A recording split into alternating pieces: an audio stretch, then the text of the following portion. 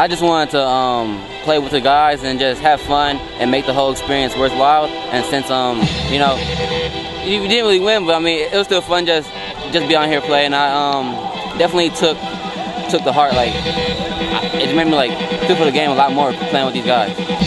Was there any kind of connection there? I mean, he went there, you go there. Nah, mm, he probably just um, fell in love with the same thing I fell in love with, and that's just the defense side of the ball down in Iowa. So.